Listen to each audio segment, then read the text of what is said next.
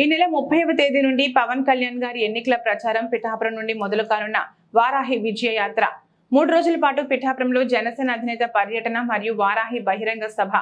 పిఠాపురం తర్వాత పవన్ కళ్యాణ్ గారు ఉత్తరాంధ్రలో పర్యటన. ఏప్రిల్ నాలుగవ తేదీ నుండి ఉత్తరాంధ్ర పర్యటన. ఏప్రిల్ నాలుగవ తేదీన నెల్లిమర్లలో బహిరంగ సభ. ఏప్రిల్ ఐదవ తేదీన అనకాపల్లి ఆరవ తేదీన యలమంచిలి ఏడవ తేదీన పెందుర్త నియోజకవర్గాల్లో బహిరంగ సభలు. ఆ తర్వాత విశాఖ సౌత్ నియోజకవర్గ పర్యటన.